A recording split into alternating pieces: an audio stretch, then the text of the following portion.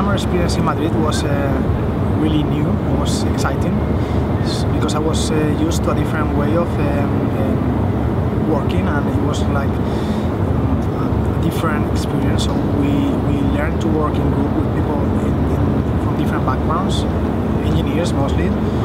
I haven't been working with engineers before, so that was uh, something really exciting. Also, the, the idea cube process.